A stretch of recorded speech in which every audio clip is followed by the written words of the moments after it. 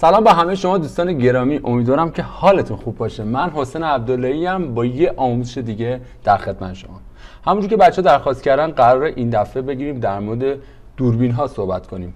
بیایم ببینیم پارامترهای مهمش چیه و کدوماش به دردمون می‌خوره و به صورت کاربردی و خیلی خفن بریم یاد بگیریمش.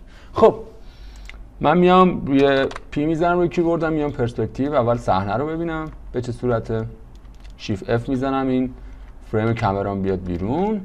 یه F3 بزنم. ببینیم من دوربین های چند تا دوربین کار گذاشتم و قراره با این دوربین هم آشنا بشیم. خب ببینید توی قسمت create camera میام tab استاندارد.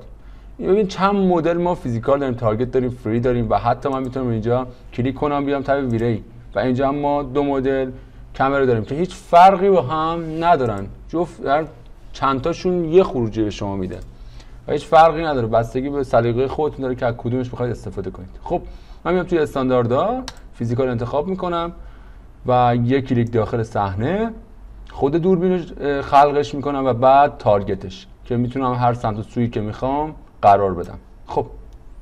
که با delete کردنم می‌تونیم پاکش کنیم من میام تو قسمت modify ش. ما اینجا یک target داریم که می‌تونیم باهاش سمت و سوی این دوربینمون نشون بدیم و یه کاربرد دیگه ای هم که داره برای فوکوس کردنه باش می‌تونیم ما shot های portrait بگیریم. چطوری؟ مثلا من میام اینجا یه جسمی رو قرار میدم. و این target رو نزدیک این جسم می‌کنم و بهش میگم پس زمینه هر چی که این object ی که من اینجا قرار دادم blur باشه یعنی این تا... می‌خوام بهتون بگم که این target مثلا دو سه جا به دردمون می‌خوره کارایی داره. و یکیش هم اینه که ما می‌تونیم حالا این target رو مثلا تیکشو بردارم دیگه target ی وجود نداشته باشه. دیگه برای من هم سخت بشه بخوام جابجاش کنم. و اینجا برای من ظاهر میشه. که target distance میاد فاصله دوربین تا این target یا اون نشانه ما رو مشخص می‌کنه که الان به این سانتی متر نزدیک 500 سانتی متره که من می‌تونم اینو کم یا زیادش کنم. و توی قسمت ویوپورت ما می‌تونیم این کادر مربعی شکلمون رو نمایش بدیم. الان توی این قصه نوشته وقتی که من دوربین رو انتخاب کنم این مربعه بیاد می‌تونم بگم همیشه این مربعه باشه یا هیچ وقت نباشه. الان مثلا من بزنم never دیگه این کلا میره. یا بگم وقتی که انتخابش می‌کنم way selected. برای من قرار میده. و من اینا رو ببندم دونه دونه باز کنیم ببینیم دیگه چیه. و میریم سراغ physical camera. توی این قسمت preset داره که ما می‌تونیم از preset اش استفاده کنیم هر کدومش که دلمون بخواد. ولی خب اکثر اوقات از همین full frame استفاده می‌کنیم یا روی همین custom ه که من میام delete و می‌زنم و میام C رو می‌زنم میرم توی physical camera ی خودم. و خب میام الان شیف رو می‌زنم میام توی کادر دور بینم. اگر در مورد کادبندی اطلاعی ندارید بیایید حتما داخل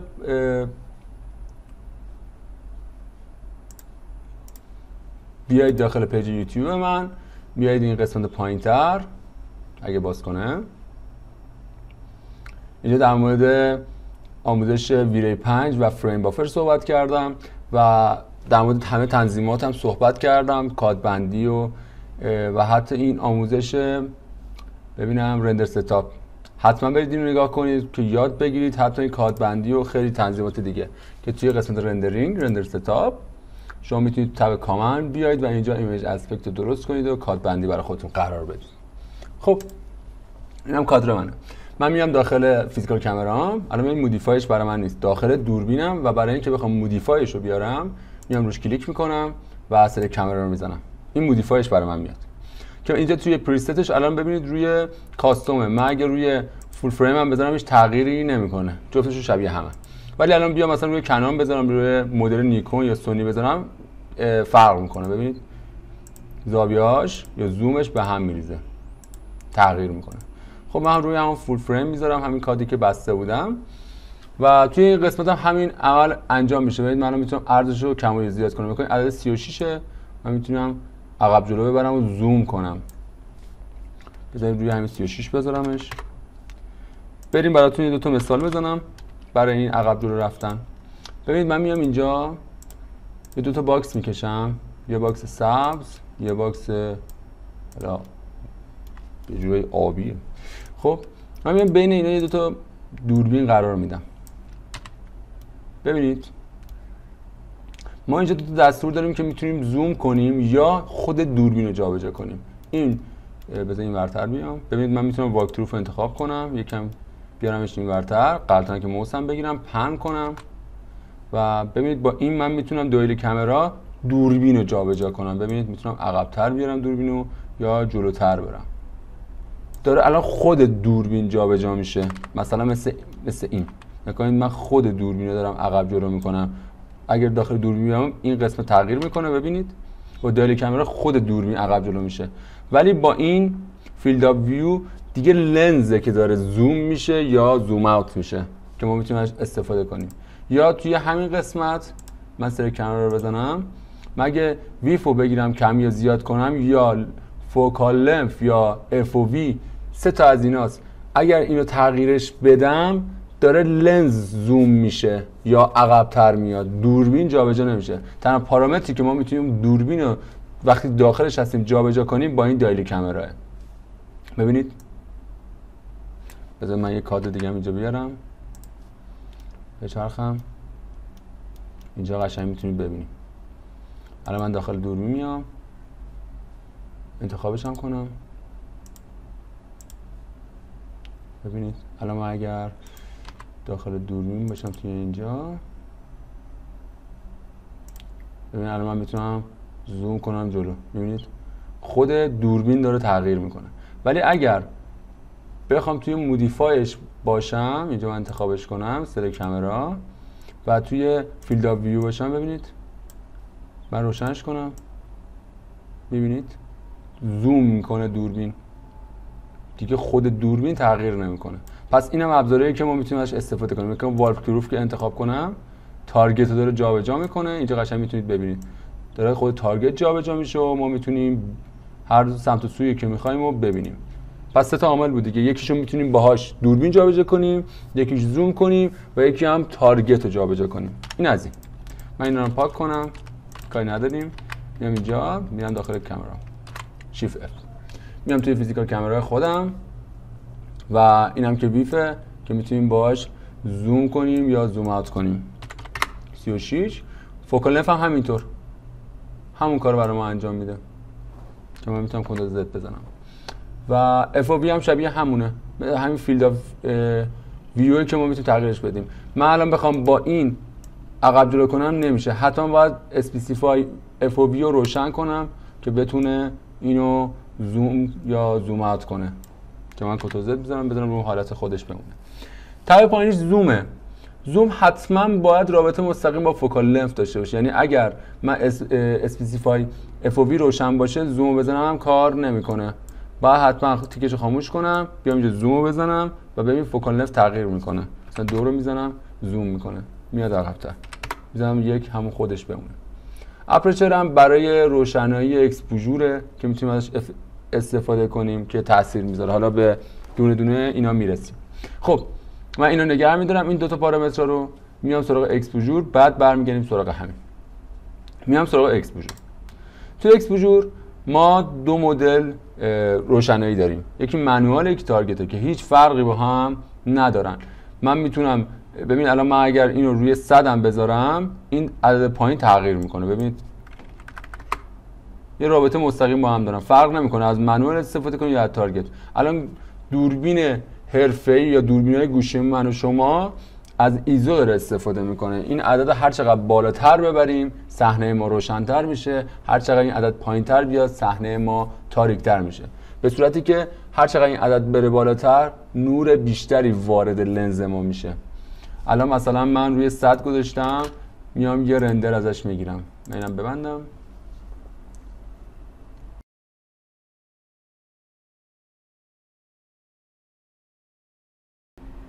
ببینید داره از صحنه من رندر می‌گیره.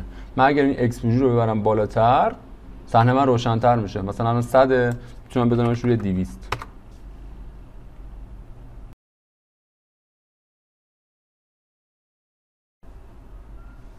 صحنه من روشنتر شد. فرق هم نمی‌کنه. از target استفاده کنم یا manual. tab پایینش white balance ه. که سه مدل داره. یکی illuminant یکی temperature یکی هم custom ه. illuminant که preset داره برای خودش. من ببین الان میام می‌ذارم روی این و ببینید چند مدل برای ما preset قرار داده. که روی Kelvin ه مثلا روی 6000 3200 روی 4000 که اینا مودهای مختلف داره. من روی هر کدومش بزنم یک تم رنگی به من میده. مثلا ببینید روی اوورکراست که بزنم یا حالت سردی به من میده مثلا یا حالت گرمی به من میده. بذار رندر بگیره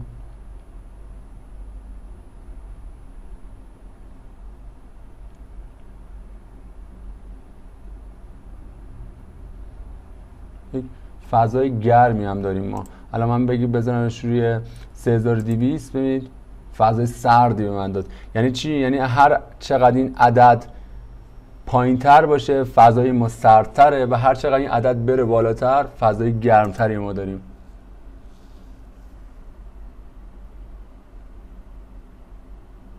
الان مثلا مدل اینجا اینم بذارم فضای گرمی ما میده. یه تم گرم داریم داخل صحنه مثل الان.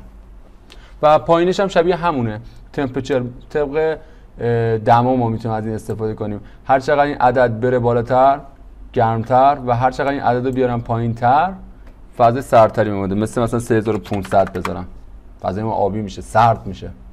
و توی این قسمت کاستوم هم دیگه می‌تونم من رنگ انتخاب کنم. بیام بگم هرچی رنگ آبی داره ازش بگیره و ببینیم چقدر گرم شده فضای من. یا برعکس بیام بگم هر چقدر رنگ گرم داره ازش بگیره و فضای من کلا سرد شد.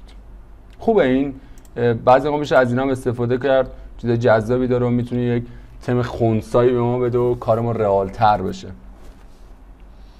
و قسمت پایینش هم enable visiting که میاد یک حاله تیره یا حاله سیاهی به شات رندر من میده. من اگه فعالش کنم و این عددش رو ببرم بالا شما متوجه میشید مثلا بذارم روی یک بذارم روی سی. می‌بینید؟ و من هی میارمش اینو کمتر. 15 ده 5 دو.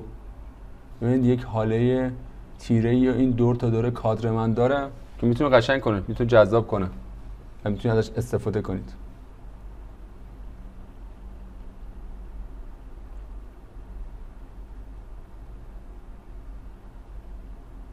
این حال سیاه خیلی جذابه خیلی قشنگه. همیشه از استفاده کنید از این امکاناتی که به ما داده این خیلی جذابه. و بریم سراغ این بالا. در مورد فوکوس و shot های portrait گرفتن و اینم برای motion blur که الان می‌خوایم در موردش صحبت کنیم. خب من stop می‌کنم. میام توی دوربین دومم. ببینید من اگه C بزنم روی کیبوردم ببین برای من یه لیستی میاره که من داره نشون میده که چند تا دوربین من داخل صحنه دارم. وقتی که از یه دونه بیشتر بشه دوربینتون این لیست براتون میاد که شما می‌تونید انتخاب کنید و OK کنید. خب. من میام اینجا. این object ی که اینجا هستش. این آشغاله من اینو میام اینجا قرار میدم و این دوربین هم که من اینجا دارمش physical دو رو. من میام select camera ش انتخاب می‌کنم. target ش هم می‌خوام مشخص کنم که کجا. بذار من یکی دوربینه رو پاکش کنم به نیازی ندارم فعلا. انتخابش می‌کنم. و می‌تونم حتی روش راست کلیک هم کنم. ببینید Select Camera رو انتخاب کنم. میگه target ش رو برای من انتخاب می‌کنم. ببینید قشنگ گوشم روی همین صد خاله. و میام چیکار می‌کنم؟ میام Physical Camera اینجا هم Select Camera انتخاب می‌کنم و میام اینجا Enable Depth of Field رو من روشنش می‌کنم. اینجا الان میگه از Use Target Distance استفاده کن. از Custom یا اینجا که من focus گذاشتم استفاده نکن. میاد از این ویژگی استفاده می‌کنه. من اومدم target ش رو قشنگ گذاشتم روی این صد خاله و اینم داره از همین پیروی می‌کنه. خب حالا چیکار می‌کنه؟ ما می‌تونیم بیایم پشتمون رو بگیریم blur کنیم و دوربین ما focus ش رو همین صد خاله باشه. ببینید می‌بینید الان خودش هم تو همین ویوپورت هم بلره. مگه اینو خاموشش کنم؟ پس زمینه من قشنگ شفاف میشه. روشنش کنم ببین مات میشه. من هر این عددم بالاتر ببرم بلرتر و بلرتر میشه. مثلا می‌تونم بذارم روی 20 پشت من دیگه خیلی می‌تونه بلر بشه. بذاریم ما بریم یه رندر بگیریم. بذارینش الان اینو روی یک.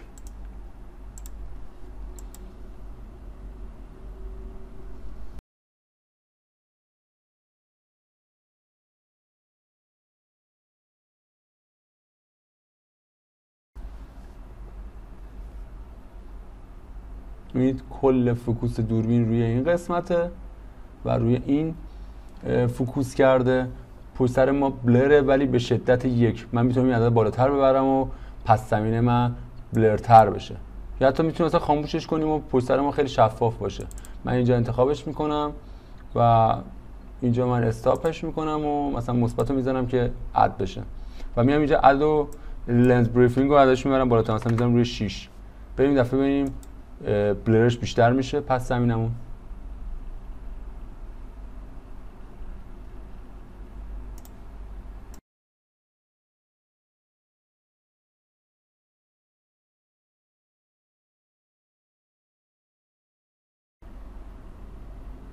خب اینم استاپش می‌کنم و مثبت می‌زنم. حالا بریم برای مقایسه. A B. می‌بینید؟ مادتر میشه.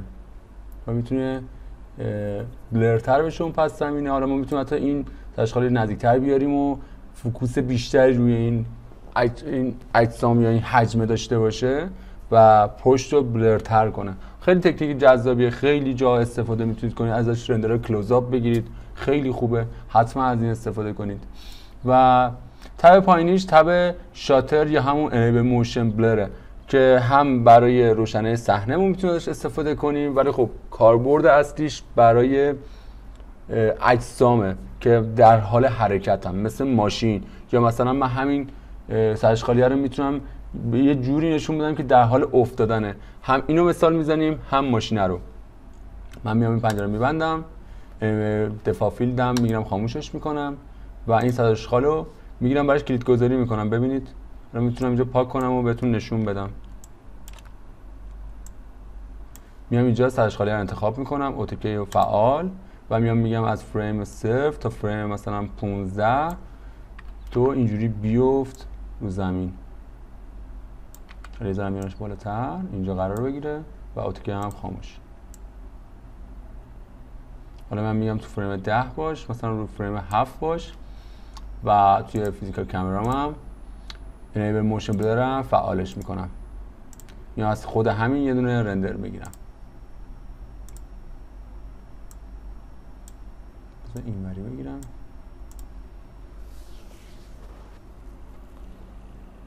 مثلا از این تکنیک میشه برای این استفاده کرد که مثلا داریم یه کار خارجی رو انجام میدیم و می‌خوایم ماشین هایی که جلوی ساختمون ما دارن حرکت می‌کنن در حال حرکت باشن و ما ازشون رندر بگیریم.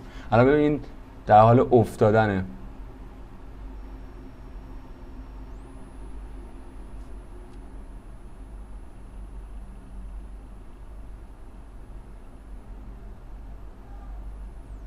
حالا من می‌تونم توی این قسمت بیام مثلا فریم رو کمترش کنم مثلا بگم تو فریم پنج باش.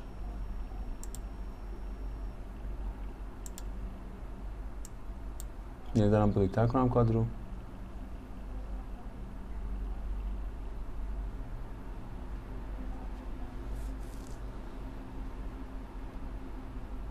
این این بلر می‌کنه در حال حرکت انگار. جسم من و خیلی چیز جذابیه. میشه ازش استفاده کرد.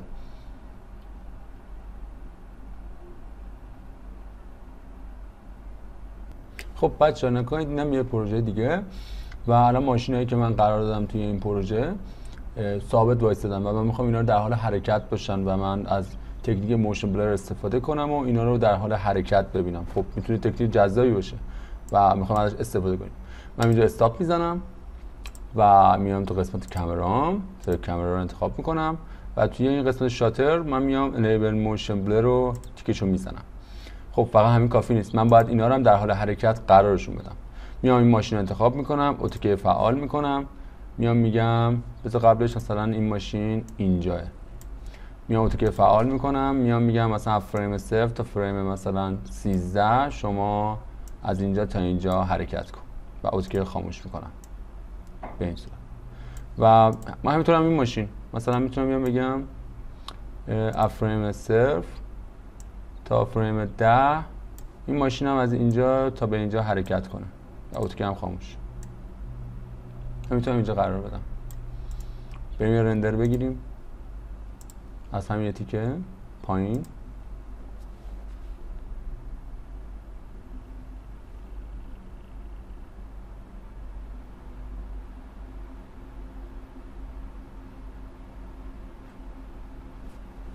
ببینید در حال حرکته.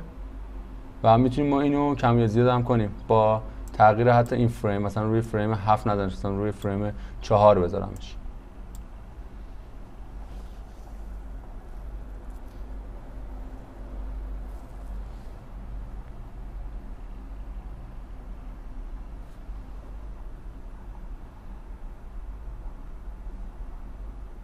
من هر چقدر این فریم رو بیشترش کنم فاصله شو مثلا این ماشین اینو بگیرم این مثلا بیام بزنمش روی فریم مثلا 20 این ماشین رو بگیرم مثلا بیام بزنمش روی فریم 20 مثلا روی این قسمت باشه سرعت کمتری هم دارم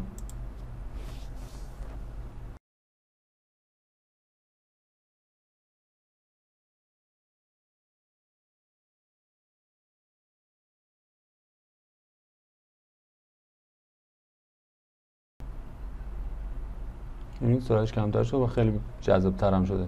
حالا هی ما با این فریم رو بازی کنیم. ببینید من اصلا روی این فریم بیارمش. بکنم اینجا بازم سرعتش کمتر بشه. هی باید تست کنیم. تست کنیم و اون سرعتی که مد نظرمون هستش رو بخوایم.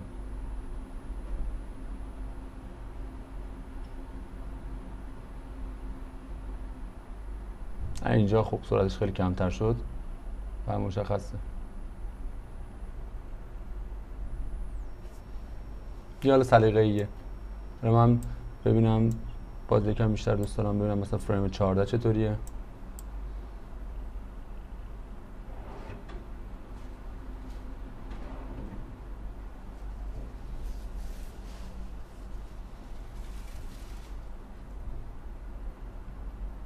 آ این خوبه. من اینو بازی میپسندم. و می‌تونه یه ذرم سرعتش حتی بیشتر هم بشه مثلا. ولی خب خوبه اوکی. ببینید. مشخصه که در حال حرکته. و این رینگ های ماشین هم blur شده. و مشخص حتی این انعکاس خیلی جذابی هم انداخته روی خود ماشین. و میشه از این تکنیک هم استفاده کرد. و یه نکته دیگه. و تنها نکته هم که مونده که بخوام بهتون بگم که خیلی اونم می‌تونه مهم باشه. و خیلی مهمه. اینه که زمانی که شما داری رندر می‌گیرید حالا دوربین قرار دادید یا هر چیز دیگه ای و یه نکته ای که مونده در دوربین اینه که زمانی که شما دارید دوربین قرار می‌دید داخل صحنه بعضی موقع ها این اتفاق میفته که خطهای عمودی شما صاف نیست. ببینید من توی سری کامرا میام و این tab ا رو میبندم و توی قسمت Perspective Control شما توی این قسمت ببینید Auto Vertical داریم بذار این بالا شروع کنیم. Lens Shift ما می‌تونیم اینجا بگیریم. همین عمل انجام بدیم. Walk Through ببینید من می‌تونم اینجا target مو تغییر بدم. توی این قسمت هم میشه همین کارم هم کرد. من Control Z بزنم سر کامرا و می‌تونم توی Horizontal یعنی چپ و راستش تغییرش بدم. اینجا به من میگه که چقدر تغییر کرده از جایی که مشخص بوده. راست کلیک می‌کنم صفر بشه. توی Vertical هم از بالا به پایینه. به این صورت. حالا اینجا Auto Vertical داریم که باعث میشه اصلا تو قسمت Tilt Correction ش ما می‌تونیم این رندر رو بکشیمش. می‌بینید؟ بعضی موقع این به کارمون میاد. چون اون زاویه‌ای که می‌خوایم و باید با اینا تنظیم کنیم. حالا اینجا به کار من نمیادش. من توی این قسمت اومدم از Auto Vertical استفاده کردم. چون مثلا اگه روی صفر باشه ببینید به این حالت در می اومده رندر من خب نمی‌خوام اینجوری باشه. می‌خوام خطای من عمود باشه دقیقا. اومدم از تیک Auto Vertical Tilt Correction استفاده کردم و خودش برای من اینو گرفتش صافش کرده. حالا من می‌تونم باز یه ذره تغییر بدم پایین تر بیارمش و اون کادری که مد نظرم هستش رو انتخاب کنم و بخوام ازش رندر بگیرم. پس این کمکمون می‌کنه که خطهای عمودی ما درست عمود باشه و یک رندر خیلی صاف داشته باشیم. اینا ویژگی ها و پارامترهای مهمی بود که به دردمون می‌خوره و حتما باید اینا رو بدونیم و ازشون استفاده کنیم تا بتونیم یه خروجی خیلی خوبی داشته باشیم. و برای پارامترهای دیگه هم اگر دوست داشتید حتما کامنت بذارید که بتونیم تخصص وقت بذاریم و در مورد پارامتر دیگه هم صحبت کنیم. این آموزش هم دوست داشتید حتما کامنت بذارید لایک کنید و نظرتون هم بگید که به ما انرژی میده برای آموزش دیگه هم تا آموزش دیگه هم خدایا رو نگهدار شما.